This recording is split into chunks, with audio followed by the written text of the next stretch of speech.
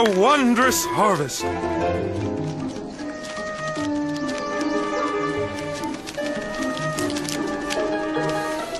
The lychees are so plentiful and large this year. Such a fragrant scent. Your Majesty! Whoa! Whoa! Your Majesty! Whoa! Your Majesty, I finished cataloging the summer scrolls. All 672 of them. Very good, very good. I have one last rule for you to read. Yes, Your Majesty? I decree that tomorrow we shall have a special harvest celebration to thank the villagers on their superb and hard work. Food and games for everyone. I'm on my way.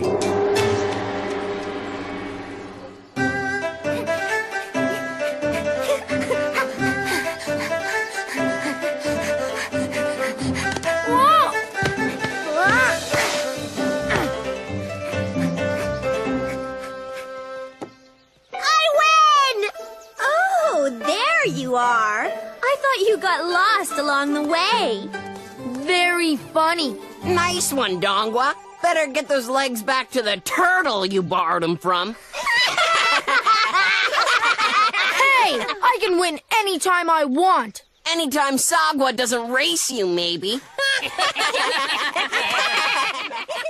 Come on, don't listen to them. I've been practicing a lot lately. That's all. The village will rejoice over this harvest celebration. Did you hear that? Yeah, I heard so.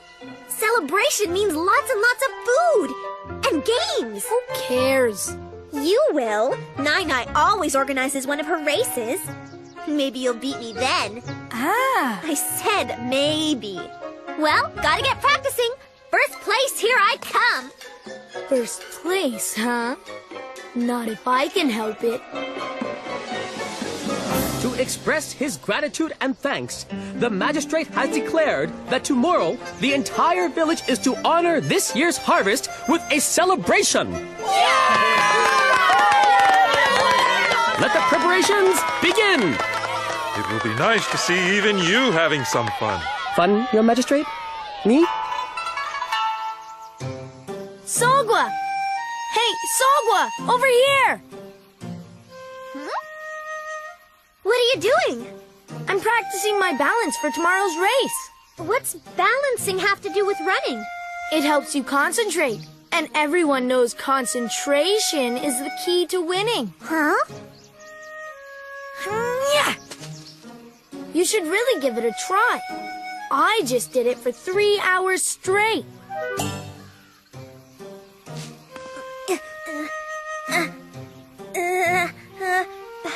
Long am I supposed to stay like this? To beat me? As long as you can.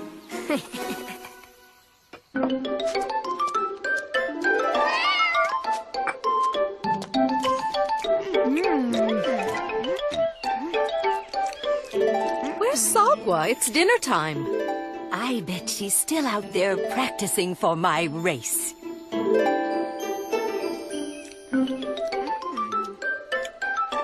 When I was her age, I was the fastest cat in the entire village.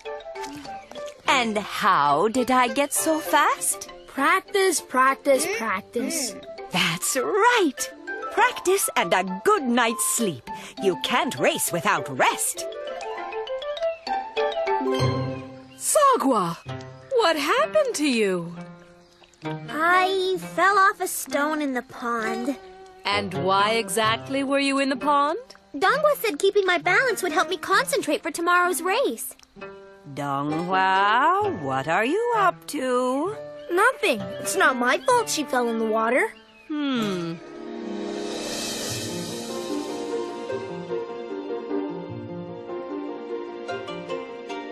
Hmm. You can't race without rest, huh?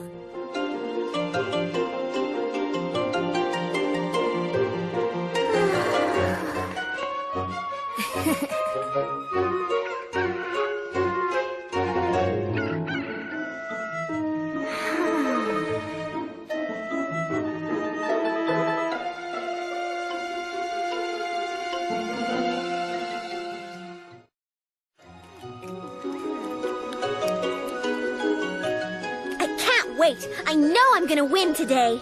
Just concentrate on enjoying the race, Sagwa. Then you will have already won.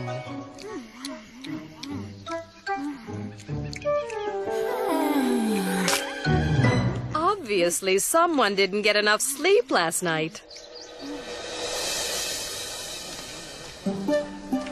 I don't know where to start. All this sumptuous food and such marvelous games. Do you see that? Catching seven pieces. It's one of my favorite games. I think you'd be great at it. But, sir, I'm really not. Ah, go on. It'll be such fun. Okay, cats. Here are the rules. The race is around the outlying streets of the village. No cutting across any other streets. And the first one back at the starting point is the winner. Everybody to their positions. On your mark. Ready, set, go! Hey! You were right. You aren't very good at catching seven pieces. Except perhaps with your head. Sorry, Your Magistrate. Ah, never mind. It's time for the pickup race. Oh.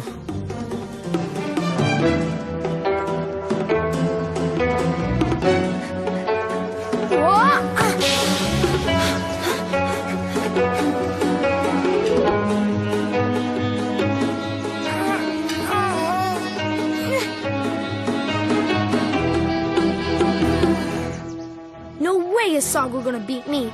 No cutting across any other streets. She's not embarrassing me in front of those alley cats again.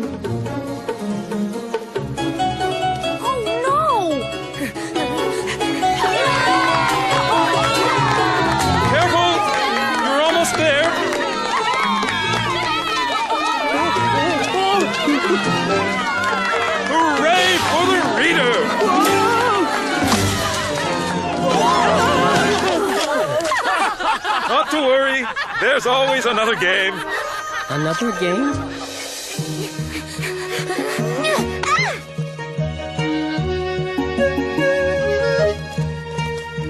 Here they come! Go, cats, go!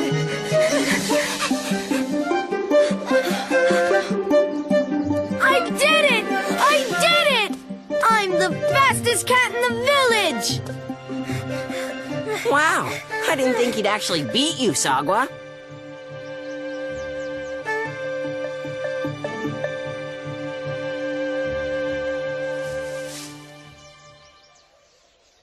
Dongwa wins the race!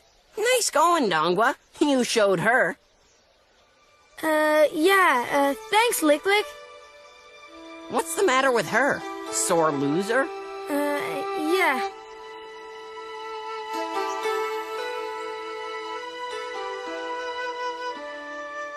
So, who's faster now? You cheated. I would have won if you hadn't pushed me. I didn't push you. You knocked into me. Look, I won. Fine. You won. But I'm faster.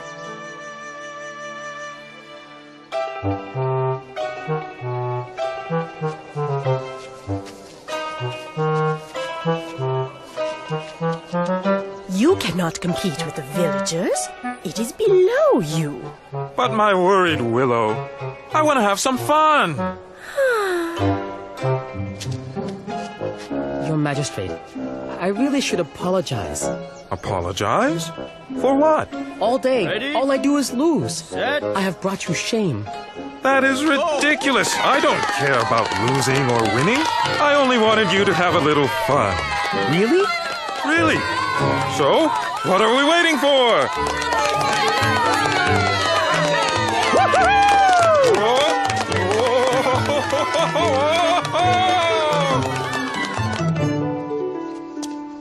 Oh, it's you. Close your eyes, okay? Another trick? I don't think so. Just do it. Hmm. Oh! You're the winner. You beat me. What are you talking about? Look, I, I didn't really win, okay? You were right. I cheated. Winning felt great at first. And then it didn't feel so great because I knew I didn't really win. Wow. And I realized how much I'd hate it if someone did that to me. What about the alley cats? I told them. They weren't too happy about it. I bet it was really hard telling everyone what you did. It was. But it felt a lot worse pretending I had won. So, what do you say to a little rematch? Ha! Anytime!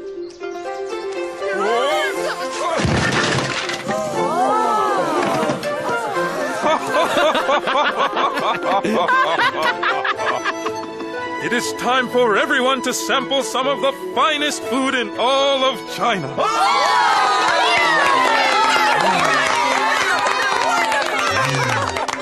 Lychee. Finally.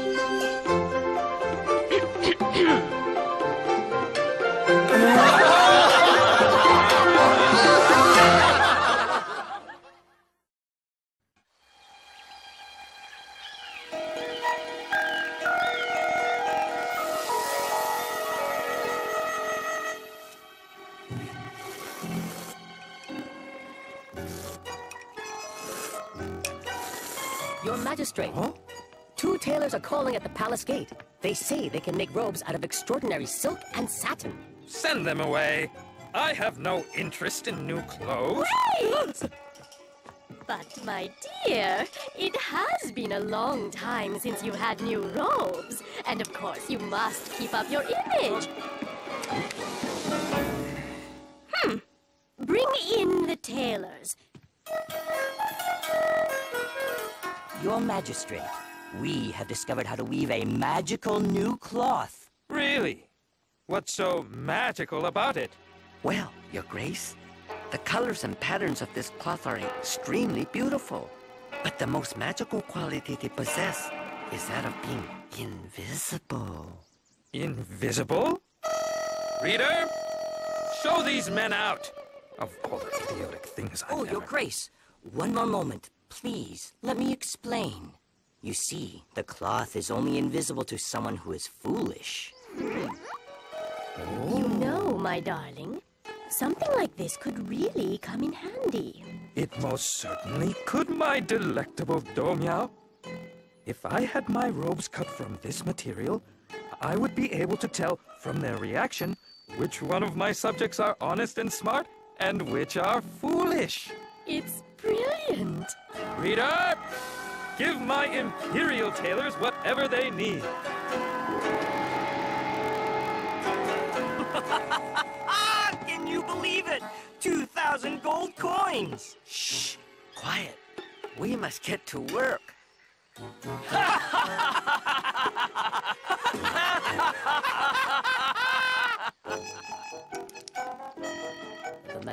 It's really all so exciting, my dear. Your exquisite new robes are the talk of the town. But when do you think we will get to see the magical cloth? Soon, dear, soon. But if you're so anxious, why don't you go down to the weaving room and have a look for yourself? Well, I would, but I am afraid that... that you wouldn't be able to see the cloth? Are you suggesting that I am foolish? Oh, no, my sweetness. Not at all. No. What I was saying was, um, well, I'm much too busy to go down there. Yes, that's it. So, I will send somebody else. Reader?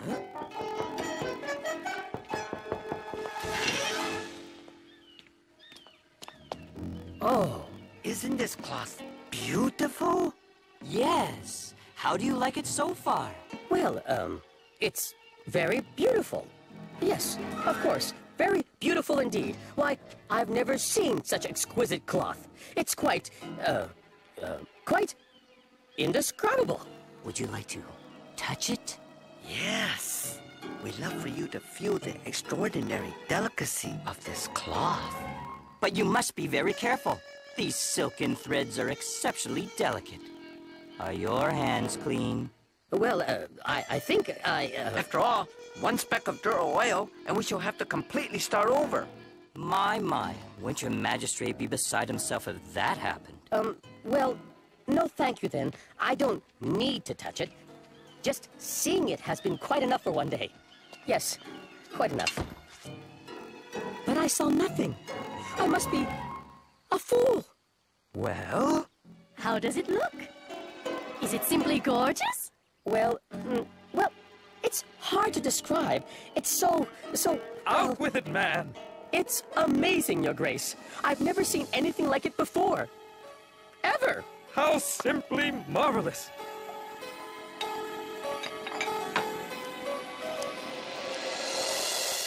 Oh.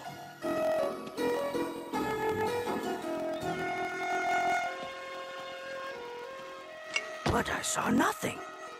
Am I a fool? What wonderful news! Yes, the new fabric is stupendous. You know, dear, I think I will go and see your beautiful new robes while they are still in progress. Absolutely, please do.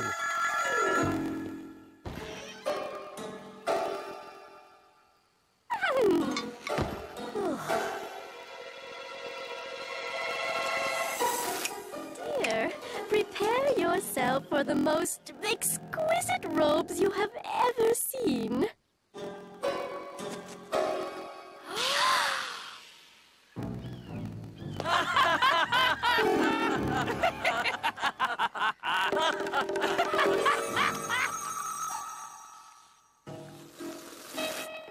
I am so worried.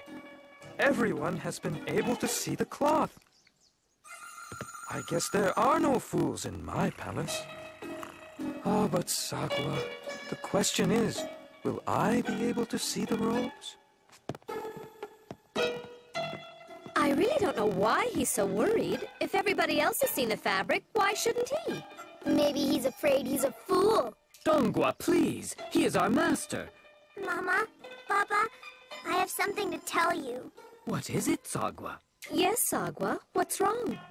Well, you see, I'm afraid that I'm the one who's a fool. Sagwa, why would you say that? Because I've looked into that weaving room a whole bunch of times, and I can never see any cloth on those looms. Well, there you have it, straight from the cat's mouth. Dongwa. Something is wrong here. Yes, very wrong. Our Sagwa is no fool, that's for sure. Perhaps we should take a closer look ourselves. That's funny. I like that one.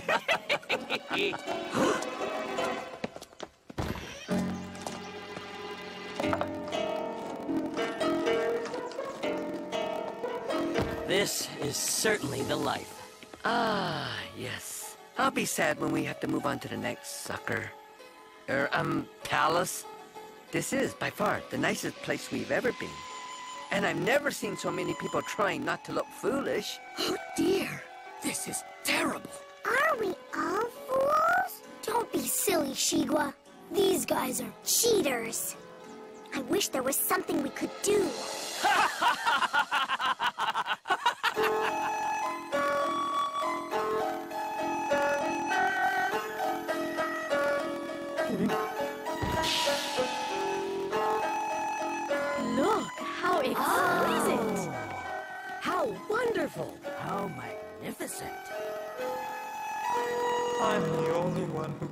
see the robes. I must be the only fool here.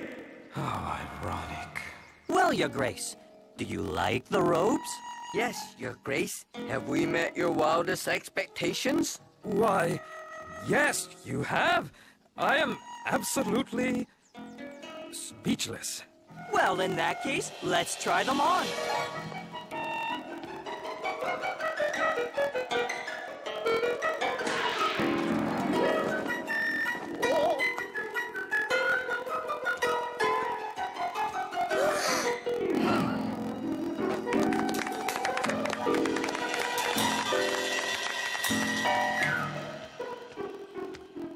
It's true. I am a fool. I must be the only one. These new robes are the most exquisite ever before made. To commemorate this extraordinary occasion, I hereby commission one of my cats to paint a new portrait of me in these spectacular new robes. At least I will then know what they look like. Sagwa! Ah, Sagwa, you are such a wonderful artist. Will you paint my portrait? Mama, Baba, what should I do? Just paint what you see. Yes, Sagwa. Be honest. Now's your chance to help the magistrate, just like you wanted. Well, okay. Here goes.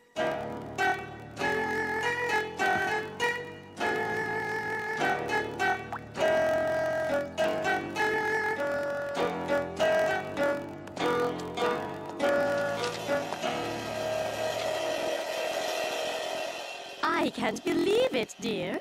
And we always thought Sagwa was so smart. Clearly, she is a fool. Well, if Sagwa is a fool, then I must be one too, for I cannot see the cloth either. Your Excellency, I am also a fool. My dear, I'm afraid that I also must confess that I am a... Relax! All of you. Don't you see? Sagwa is painted the truth. There are no robes. There is no magical cloth. We have been played like an erhu. Reader! Cats! Take down my new rule. Let it be hereby decreed that any person or persons who try to deceive anybody in this court or in this village shall be fined. Shall be fined. Reader, how much did we pay these men? Two thousand gold coins, your magistrate. Well then, anybody who deceives shall be fined 2,000 gold coins. And one more thing. Can you really weave and sew? Yes, Your Grace. Marvelous! In that case, I hereby decree that you make new robes for everyone in the palace, including my fine cats. Yes, Your Grace. Now let's see who is the fool. Reader, collect the fine from those two tailors and then escort them back to their weaving room so they can get right to work. It is funny, isn't it? We were all so afraid of looking foolish that we refused to believe what we saw, or in this case, what we didn't see. To think it took a kitten to show us the truth.